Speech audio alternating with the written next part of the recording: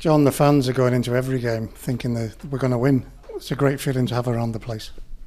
Yeah, and it's a good feeling. I want I want them to have that feeling. I want the players more than anyone to have that feeling. But if you're winning games, I've, I've said to you before, it, it just builds that bit of confidence. Whether you're supported or you're working at the ground, a player, um, you know, you're going into a game boy, feeling buoyant and, and hopefully getting the result you're after to keep you where you are in the league, which is at the, near the top of the table at the moment.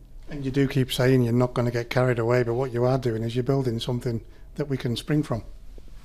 Yeah, but I'll keep, I'll keep saying again, it's only, what, eight, nine games. I'm, I'm not getting carried away at all. I, I'll let you lot get carried away, but I won't be getting carried away. I know what's around the corner, like I keep saying.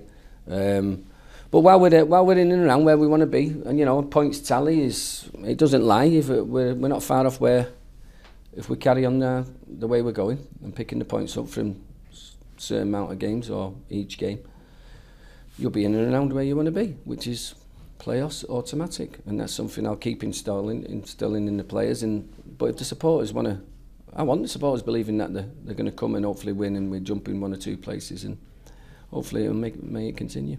You touched on this earlier. Dino's got his team organised and disciplined, so it will be a tough test this weekend. Yeah, they've started the season well. Um, they're a decent side. They've got some good experienced players in there, so uh, and they're, they're on a good run of form at the moment. So But like ourselves, I, I'm sure he's expecting a tough game for us. Hopefully we'll give him one. But they'll be coming thinking uh, they've got a good chance to win a game. But I'm, at the same time, I'm going thinking we're at home.